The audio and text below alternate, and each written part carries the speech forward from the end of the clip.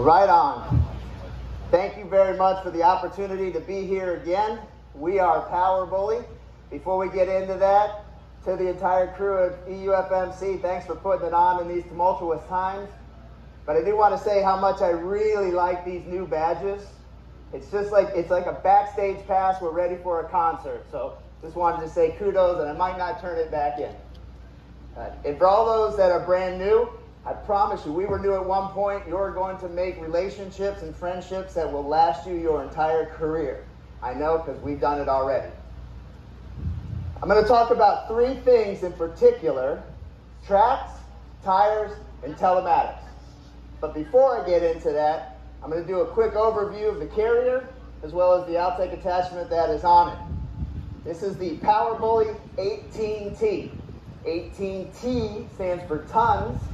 That's a 36,000 pound payload capability. Now, I'm going to jump to the Altec Effort Train. That is a, a 315C. It's got a little bit of about 41 foot of auxiliary hydraulic reach, and it's about 8,000 pounds. So even with that and the outriggers, you still have a tremendous amount of payload capacity to take your cargo and any other gear to your job site. Back to the PowerBully. Again, the PowerBully is powered by the Cummins 310 horsepower QSB engine. We utilize all of the top brand of componentry, so you'll find Bosch, Rexroth, everything that you've come to know and appreciate for holding up in your applications.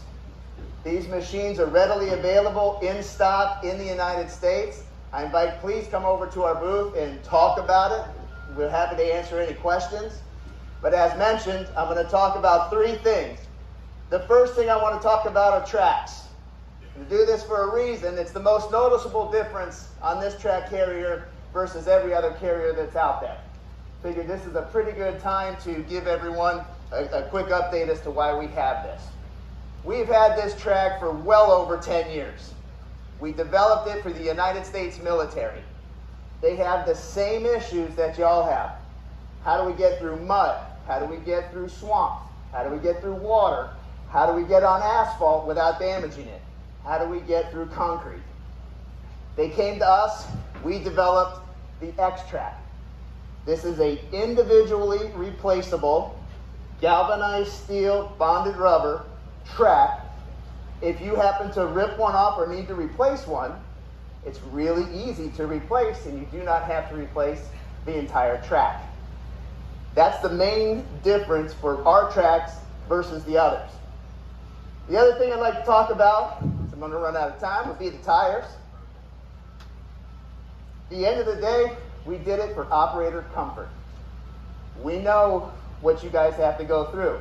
Whether you're going into the gully and out, whether you're going over rocks, logs, that operator, if he's in there, is going to bounce around. We're trying to minimize the fatigue for them. That's why we went with the larger tires, plain and simple. The last thing we want to talk about are telematics. I do realize it's probably hard to see inside the cabin, and I'm certainly not going to talk to you guys about telematics. You can educate me. But I'm going to say a couple of things.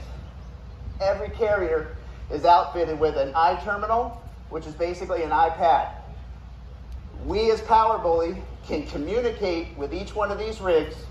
We can slowly walk through the operator. If he's got a code issue, if he's got any problem, we might be able to fix it right then and there if he doesn't have a, an issue that we can fix, at least it's something we can tell the mechanic exactly what to have and what to bring, saving you time and money. So I'm out of time. I appreciate everybody. Thank you for being here. Thanks again for having the show. We're PowerBully. Thanks, Scott. Nice job.